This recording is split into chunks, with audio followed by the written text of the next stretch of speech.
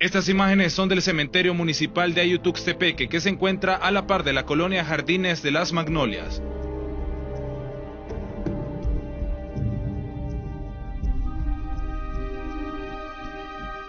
Los habitantes se encuentran angustiados, según ellos, porque el muro que los divide se está erosionando poco a poco. Dice, el problema que tenemos es la erosión de la tierra. Baja demasiada cantidad de tierra cada vez que llueve. El problema es que entierran mucho de este lado y cada vez que llueve, pues esa tierra viene contaminada, baja cebo, la última tormenta fuerte bajó un montón de cebo. Esta cuneta es lo que tanto está causando problemas a los habitantes de esta colonia. Como ustedes pueden observar, sus muros ya están colapsando. Por muchos años han sufrido por este problema, pero desde hace pocos meses que se ha incrementado.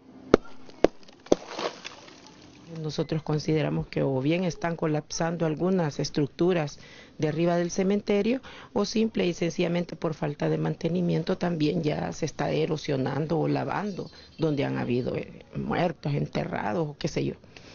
Entonces la basura también, si le dieran un mantenimiento más seguido y le dieran atención a la canaleta, la basura no saturaría los sistemas de drenaje.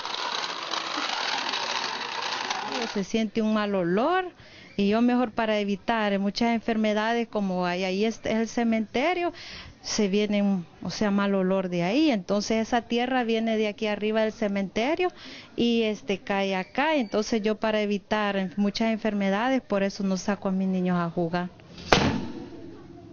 Los afectados esperan que las autoridades puedan ayudar a solucionar este problema antes que suceda una desgracia con imágenes de Daniel Pérez. Kevin Vaquerano Noticias, Cuatro Visión.